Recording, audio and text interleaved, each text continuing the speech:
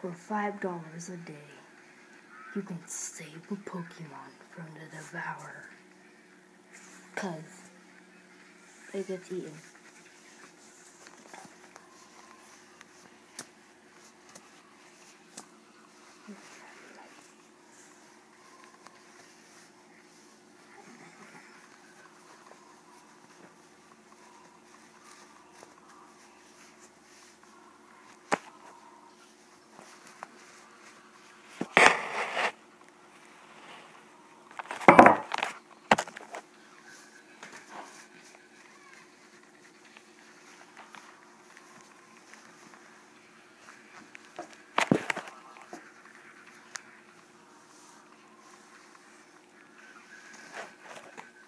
Is it dead?